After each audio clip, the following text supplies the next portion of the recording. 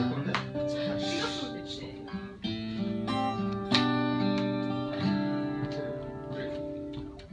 주님의 임재 앞에서 권능의 날개 아래서 주의 하신 행동을 인하여 찬양해 주